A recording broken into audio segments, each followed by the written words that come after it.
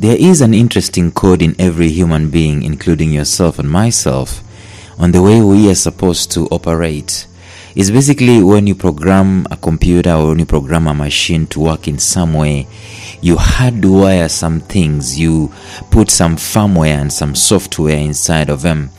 And I think that every human being has this firmware of productivity. In other words, if you are not going to be productive, you are not going to be happy.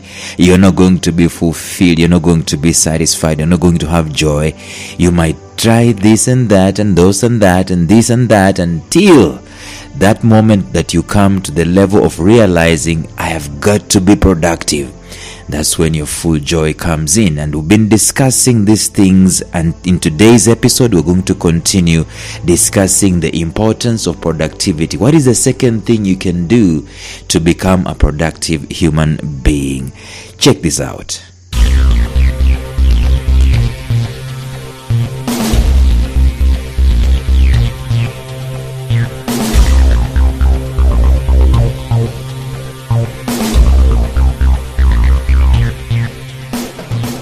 Welcome to the Life Signatures podcast with Lawrence Namale. Lawrence is a life coach, author, and keynote speaker who loves to tackle different topics on purpose, productivity, and resilience. His mission in life is to awaken all your boundless possibilities available in you. Life Signatures podcast is dedicated to bring to reality every single person who knows that deep down in their gut there's got to be more to life than this. And now, here is your host, Lawrence Namale.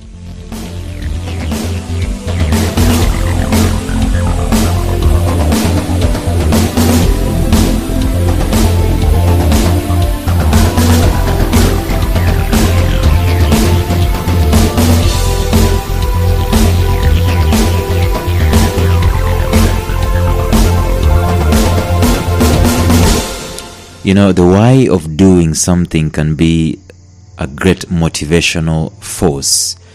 If you know why you're doing the things that you're doing, you will be greatly motivated. And one of the worst answers you can ever give a child is because I said so. And I know children sometimes can be asking us very many questions, and it can be quite tasking and it can be quite worrisome, wearisome. But to say because I said so is not a good answer to give someone anywhere, even if it's a child or an adult. That's why the reason behind the reason, the reason behind the thing that we're doing is important. And someone said that the main thing is to keep the main thing the main thing. And I think the main thing about a human being is productivity. I have said this in the previous episodes that I don't think there is any loftier reason for you and I to be alive today other than to be productive. And I qualified by saying that productivity is not necessarily giving birth to children. That is far from it. When we are called to be productive, we are called to reproduce after ourselves in terms of expending all our energies and focusing on our potential, making sure that the fat of our potential is burnt and everything is expended and we are becoming productive. In other words, we are becoming productive in the thing that we were supposed to be productive at in the first place. You see, the point is that we can actually do very many things. And I know there's this scripture that I was up against the other day, and uh, when I said so, it became a title of one of my podcast episodes that you cannot do everything you want to do. You cannot be anything you want to be.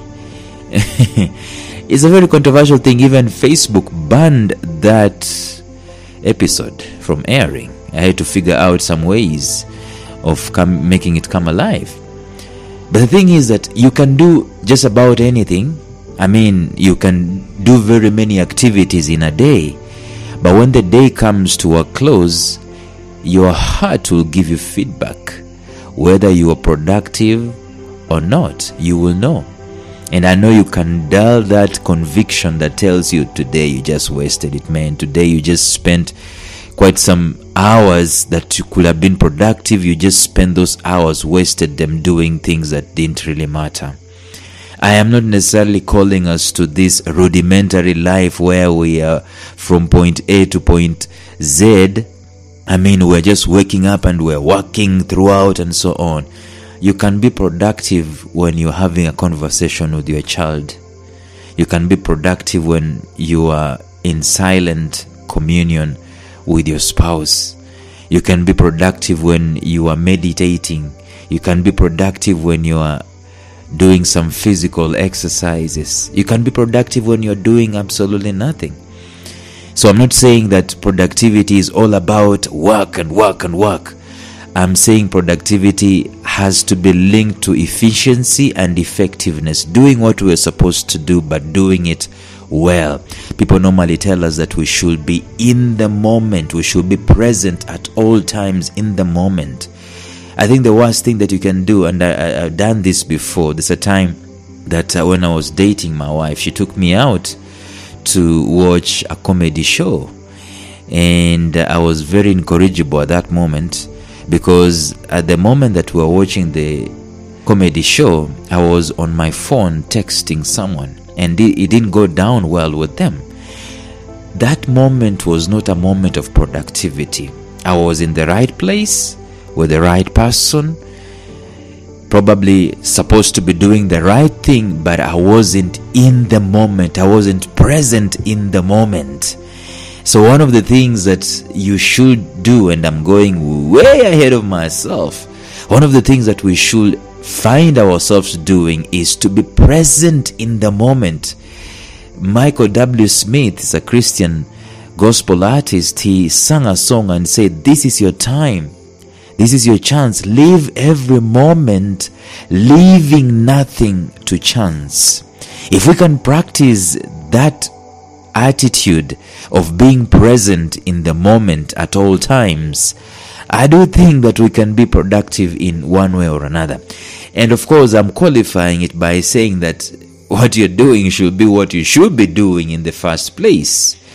Otherwise, you can be present in the moment, but what you're doing is not necessarily what you're supposed to be doing.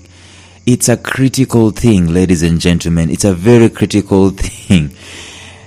If we talk, took stock of how we are spending our lives in the view of being productive on a daily basis, we will be astounded as to how much time we lose daily doing things that we were not supposed to be doing in the first place. Activity filling our lives. From the moment we wake up to the moment we sleep, we've been engaged in activity after activity after activity.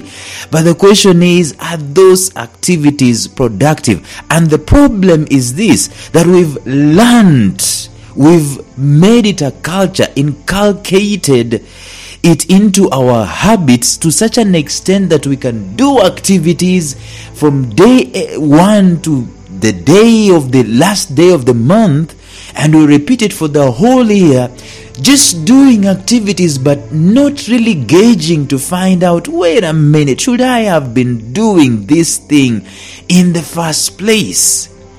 And we go having this most important resource which is unrecoverable, which is time.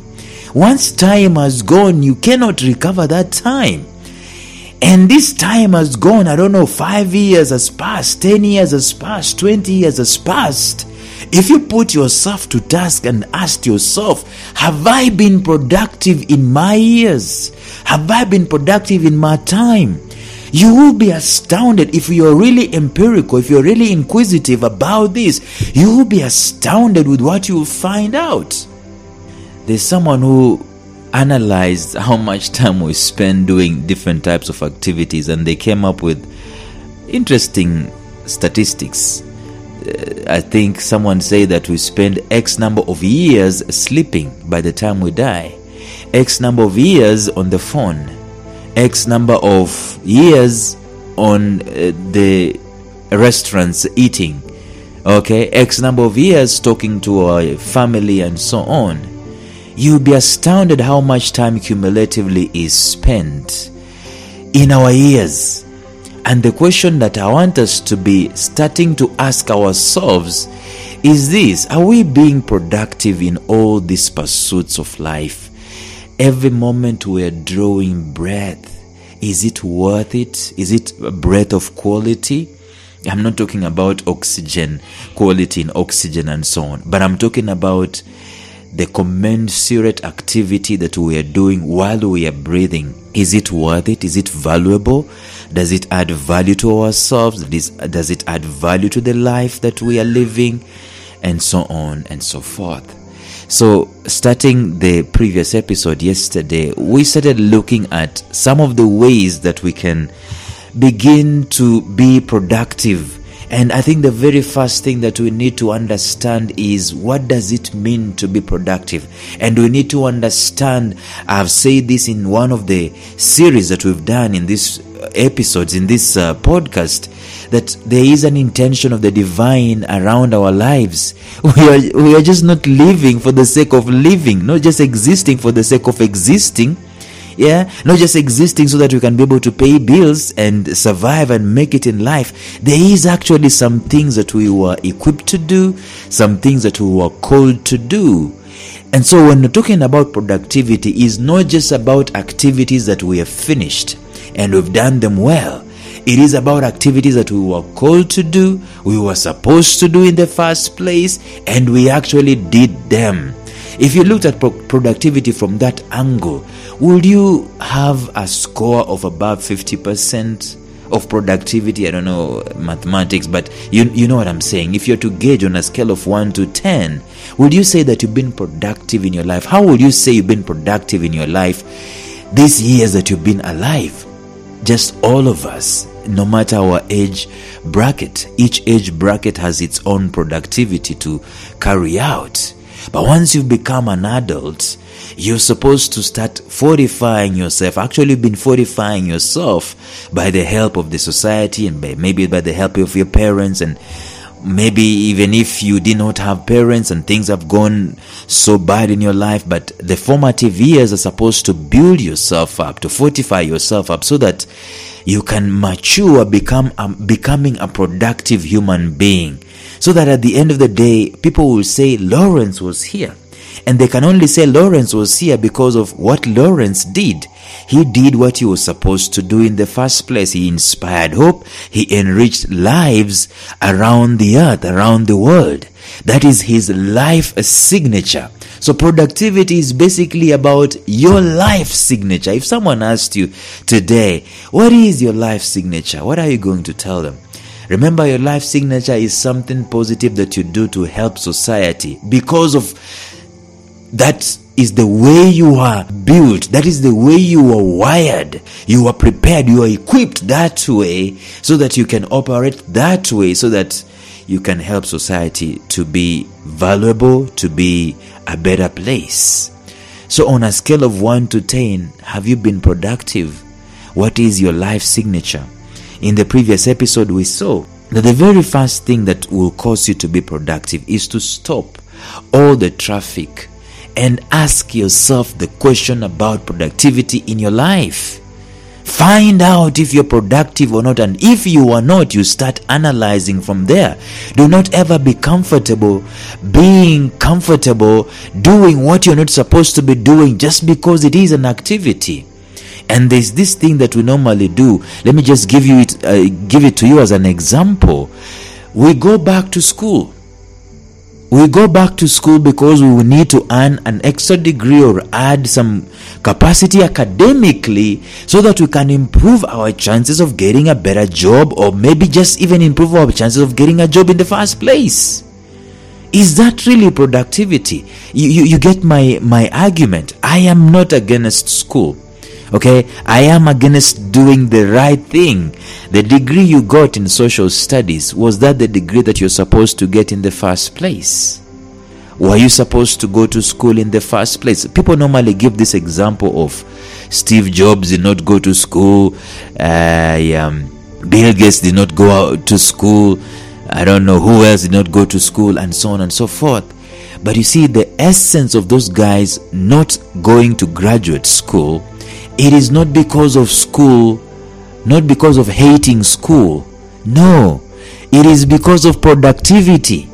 Because weighing on the scales, they would rather pursue an idea that is ripe, whose time has come, than go to school because school is what you're supposed to be doing as an activity during that time of your season in life. And we find ourselves, and I know this is controversial. People might be saying, "Oh, Lawrence, you're just speaking this because you you you you you're not a guy who has a degree and so on and so forth." That's okay. But the thing is, you can find yourself pursuing some things just for the sake of pursuing them, but you're not being productive in them. it is possible to waste 20 years doing the thing that you're not supposed to be doing because someone told you that that is what you're supposed to be doing. And meanwhile, in your spirit and in your heart, there's some things that are keeping, you know, they're supposed to come out, but you keep dulling the senses. You keep dulling the senses. You keep, you know, not listening to that inner voice, that still small voice that tells you, wait a minute, why don't you do this? And why don't you consider doing this? Probably you are scared, but you just want to conform. You just want to be in this mm, aura where you're doing what other people are doing so that you can be comfortable. It is actually uncomfortable to be productive because, for the most part, you being productive will mean going against the grain. I remember reading somewhere in Les Brown's book, Live Your Dreams, where he talks about this guy who is absolutely talented. I mean, he's gifted academically. In fact, his parents earmarked him for medical school. In fact, he was even in medical school, I think the second year or something like that. And so he gets out of medical school and goes to his parents and tells them that I have decided to quit school because I think I have a talent in making people laugh. I want to be a comedian. And they laughed at the guy and they said, Stop joking, man. I mean, uh, get, get serious. And he said, I'm dead serious. I mean this. And he said, You know what's funny? This is what they said. You, what, what's funny is this. Let's go and tell your friends what you're just telling us. That is what's funny because they'll laugh at you and they'll call those guys in lab coats to check your head because your head looks like it's not okay. Long story short, he did quit medical school and do not try this at home, brothers and sisters. I am talking about productivity. Do not do things because you've seen someone else doing it. I see very many kids these days about entrepreneurship circles saying that, you know, Steve Jobs did not go up to university and all those guys did not go out, but they were rich. They were rich because they had something to do with productivity. They did not quit school to do nothing. They quit school to pursue stuff. That is being productive. So this guy thought that he would quit school and go and do comedy and that's exactly what he did and he became a very successful comedian a very happy person and so on he was uncomfortable i mean it is uncomfortable to be productive because at some point in time it is not universally accepted. Anyway i'm winging this too much. But the first thing that you need to do is this. When you realize that you're not being productive and by the way you need to you need to come to that level where you need to know are you being productive or not? But whose metrics are you using? Because you can actually use the metrics of society if we were to go with the metrics of society i'm telling you god has failed very many people. Because the metrics of society they say that productivity is all about you going to school to the highest echelons of school and making sure that you have the degrees and you perform highly. And then after that, you are able to be employed at a high blue chip company and all those things. That is how society tends to gauge, use those metrics to gauge productivity. But that's far from it. Productivity is about what you are meant to do and actually doing it efficiently. So, when you find that you have not been productive in your life, the very first thing that you need to do, as we discussed in the previous episode, is to stop all the traffic and start asking introspective questions to unearth areas where you've not been productive. And the worst thing you can do is to be comfortable in your unproductivity, to be comfortable in going through life through a circle or a cycle or a rut or a system of just doing activities for the sake of doing activities. There's got to be some insight. So from now henceforth, everything that you're involving involving yourself with, get some insight into it first. I normally tell this to Christians. You find a Christian going waxing eloquent. Praise the Lord, hallelujah. Ask the guy, what do you mean hallelujah? What is hallelujah? Is it English? What, what does it really mean? He has got no clue, but he's all over the place with that spiritual verbiage. What is the insight behind it? Why do you praise God? Why do you worship God? Why do you pray to God? Why do you go to church every single Sunday? What is the insight behind it? See, finding the insight behind what you're doing is the first step to leading you to be productive. Today, even as I come to a close of this episode, very sweet episode, what is the next thing that you should do if you're going to be productive? It is a simple thing. Once you've stopped all the traffic and started to, to pause and to reflect about your productivity, the second thing that you need to do is to ask, to seek, and to find. Ask, seek, and find. If the life you are living is not a life of productivity as it ought to be, the next logical step to take is not to continue with your activities. I know this sounds a bit counterintuitive and controversial. I am not asking people to stop living and stop working. I am saying to stop doing things without insight. So stop doing things without having a meaning, without having a why. Why are you doing this podcast, Lawrence? I am doing this podcast to inspire hope and enrich lives worldwide. There is an insight behind doing what I am doing. It is not so that I can get likes on Facebook. I have tried really to get likes on Facebook. Sometimes I belabor my points on the podcast and just two people per day download the podcast. But that's fine. If I was doing it for likes, I would have been discouraged long time ago. But I'm doing this to inspire, hope, and enrich lives worldwide. In other words, some one person can land on episode number 183 for example 166 for example and it does something for them it inspires them it encourages them it makes them to be bold and courageous and take a step in their life and maybe enlightens them. That's the reason i'm doing this podcast. So you seek to find what is the what is the insight behind the things that you're doing? Take a break from life's activities if you have to.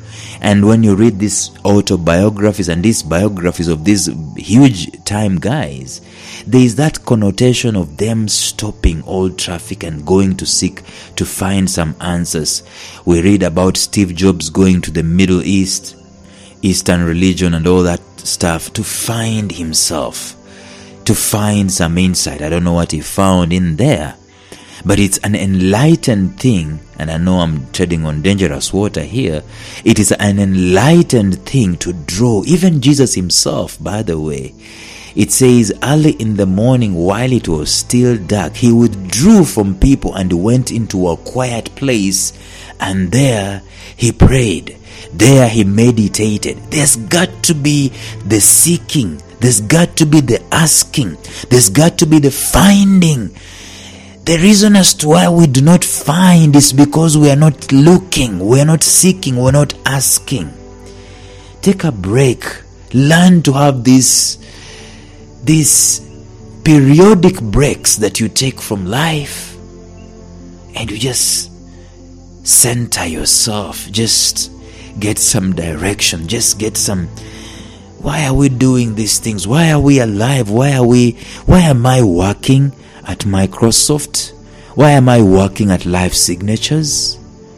Am I supposed to be working there in the first place? And even if I am there, the thing that I'm doing, what is the insight behind it? Am I doing it just so that I can put food on the table? Is it is it that is that all there is? Start asking yourself those questions. Start asking yourself these life searching, deep seated questions. Why was I born? Do you know you can ask that question nearly at every turn of your life? And there is an answer to that question. It is not a negative answer. Probably people normally ask that question from a negative point stand, standpoint, especially after going through some tough situations in their life. They are asking it regrettably. Why was I born? But no. That question is a very powerful question that should be asked from a positive angle because it has an answer. It has an insight. That insight that you get from that question is an insight on your productivity. Why was I born? Why were you born? Ask yourself, what is my life's assignment? There is an answer to that question. And once you ask that question, the answers start popping up in ways that I cannot say. I mean, they are not immediately apparent and they are not the same ways. God is so unique.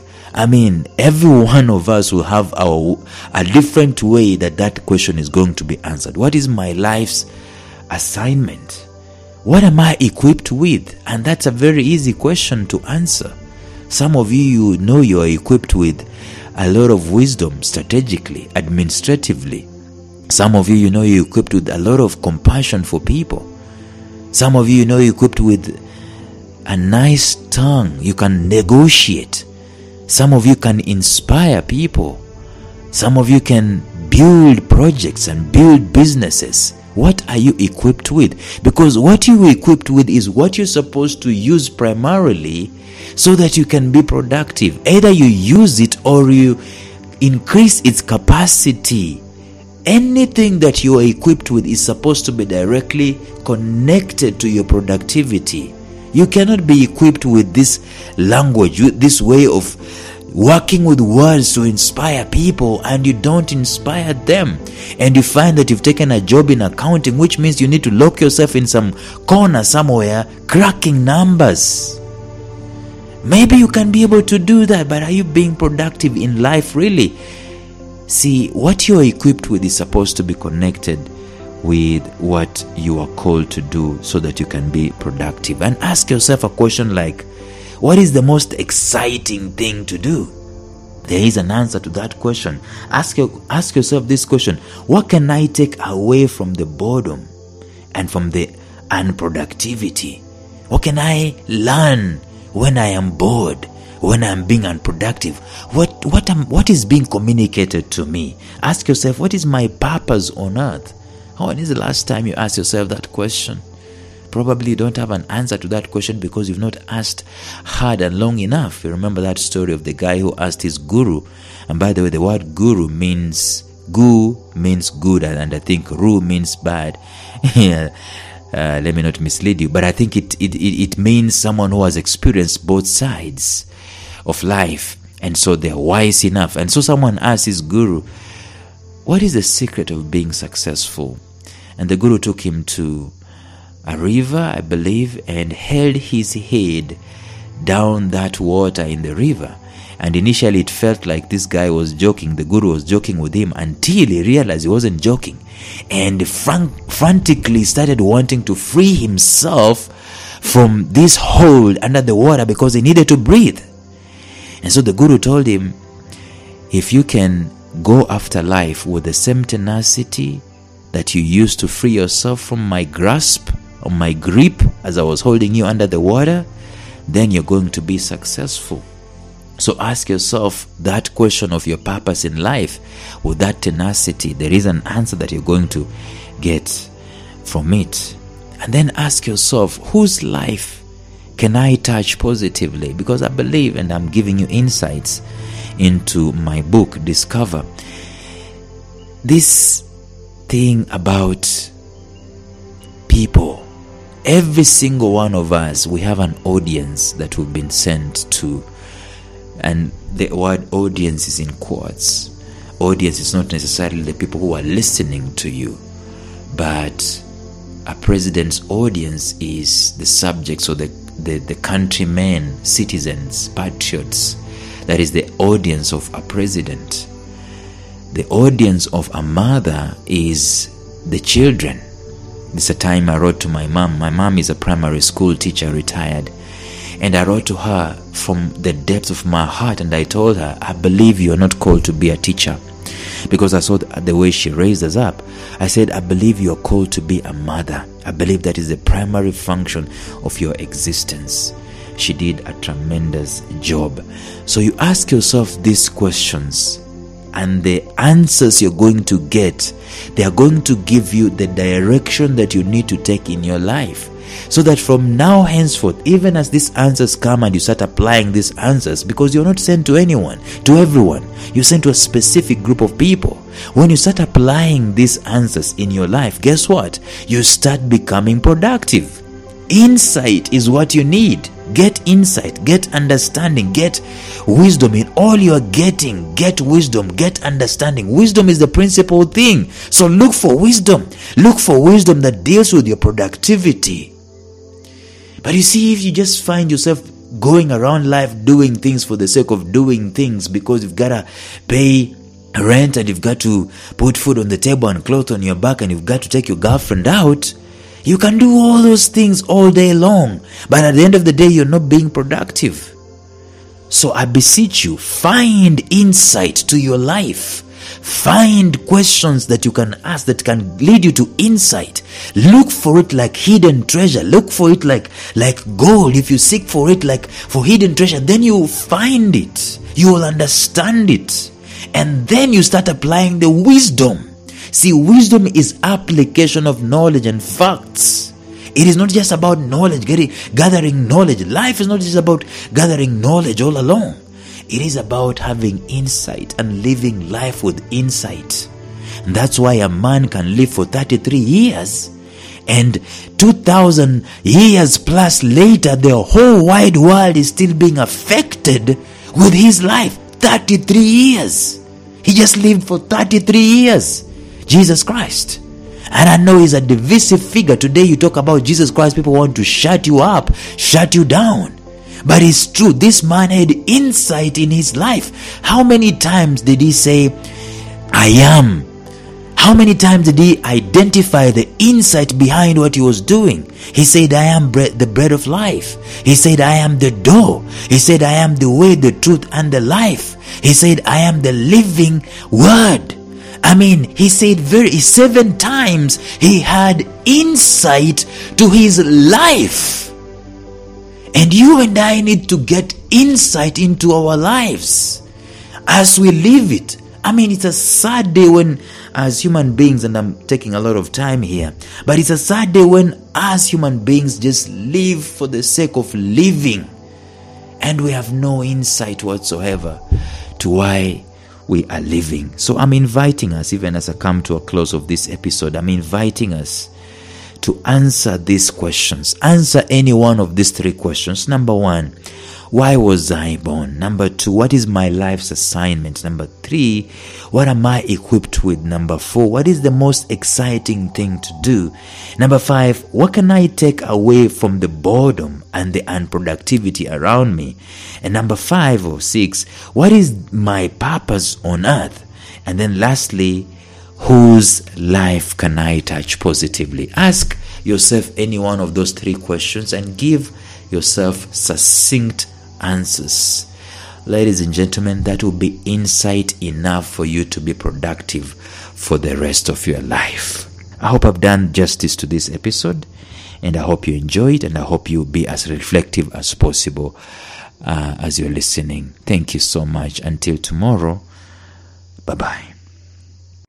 A special shout out to my mentor, Jeffrey Howard of Visionary Business University, found at mastermindmentor.com, who has graciously provided me with the soundtrack and the introductory track to this podcast. Thank you, Jeff.